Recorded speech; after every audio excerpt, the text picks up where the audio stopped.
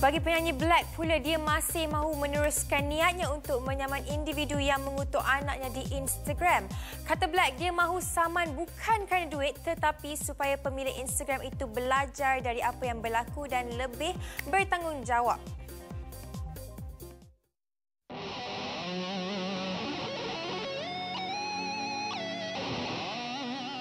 Dan uh, seperti sebelum ini pernah berlaku terhadap uh, apa Black dan juga isteri uh, apa yang orang macam mengata kepada anak you sendiri di Instagram dan sebagainya ia sesuatu yang memang tak boleh diterima dan sangat orang kata kurang kurang adab lah kot kan sebab meng- mengutuk anak orang kan. So macam Black sendiri macam mana uh, keadaan itu sekarang? Apa yang update yang terbaru tentang perkara tersebut? Masih lagi masih lagi saya rasa panas daripada hati kami masih masih panas tapi saya ni manusia. Saya boleh boleh apa uh, bertolak ansur. Uh, macam saya pernah katakan uh, saya pernah katakan sebelum ni saya boleh terima dia minta maaf secara tertutup.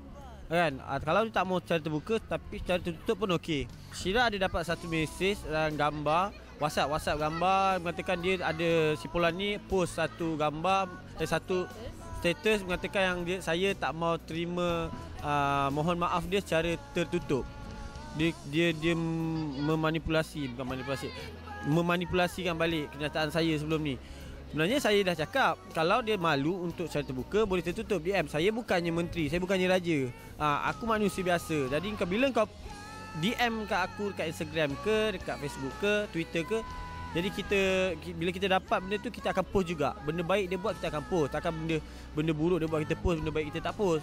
Sekarang ni apa yang saya boleh katakan proses uh, saman masih lagi berjalan. Saya dah buat report uh, bukan kerana saya nak duit.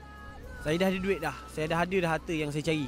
Uh, tetapi disebabkan saya nak pengaj- nak orang-orang di luar sana belajar dari apa yang telah terjadi. Ah, saya tak nak um, orang boleh ambil sambil lewa je nak cakap pasal anak orang ni macam ni. Kau tak ada anak, kau tak tahu. Kau ada anak, baru kau tahu. Uh, saman tu dikeluarkan sejak bila? Saman masih belum keluar. Menunggu proses saman bukan mudah sebenarnya. Dia banyak proses.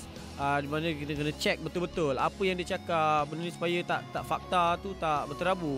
Jadi saya ambil masa, saya masih boleh terima walaupun satu hari nanti bila saya dah nak masuk bilik mahkamah sambil saya sebelum saya melangkah tu dia ada di luar tarik saya balik ke belakang sebelum saya masuk.